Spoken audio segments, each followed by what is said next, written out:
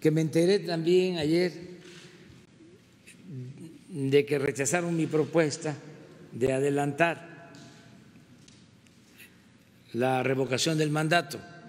¿Por qué esperar hasta el 22 si vamos a tener en junio del año próximo elecciones? Ya de una vez, yo les digo,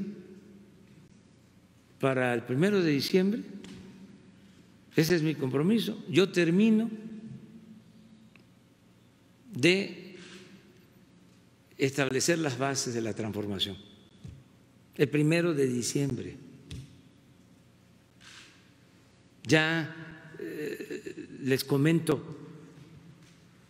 la última reforma a la Constitución que me importaba muchísimo fue la reforma al cuarto constitucional y ya se aprobó,